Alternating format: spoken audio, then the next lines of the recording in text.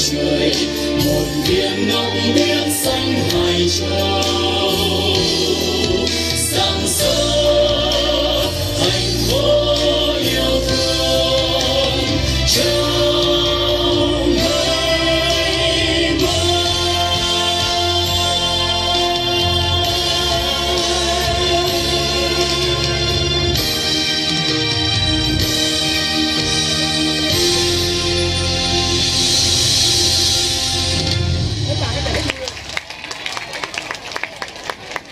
Xin được trân trọng cảm ơn Trung tâm Văn hóa Thể thao quận Hải Châu đã gửi đến tất cả quý vị một tiết mục mở màn vô cùng ấn tượng và đặc sắc tác phẩm Hải Châu ngày mới, một sáng tác của nhạc sĩ Thái Phú.